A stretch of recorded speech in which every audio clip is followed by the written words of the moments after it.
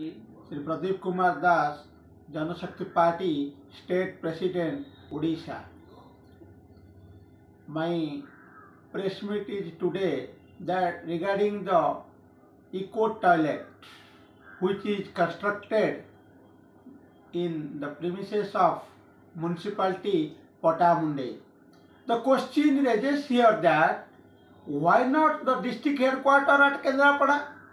Why not it is before the capital Bhubaneswar and what is their intention?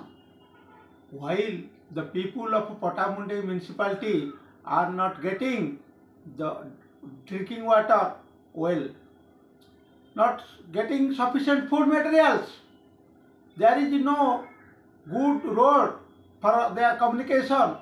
They are unable to reach in the hospital in time and what is the motive to establish eco toilet here a crores of rupees has been sanctioned my question it should be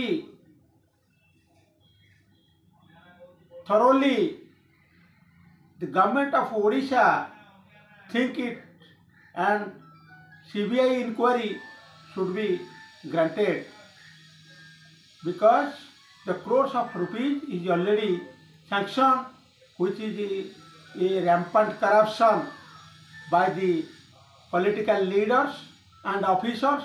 They are making a unholy combination to carve the public money in their pocket. Hence, Jan Shakti Party demand a CBI inquiry and we approach through your TV channel to the Chief Minister of Odisha, kindly inquire regarding the transparency. Their motto is transparency, but not by speaking. It should be in work. Namaskar.